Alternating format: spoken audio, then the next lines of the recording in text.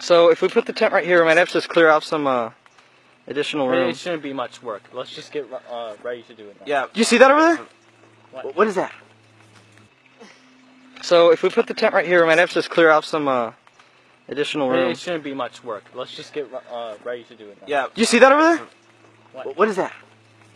Ready to do it now. Yeah. Do you see that over there?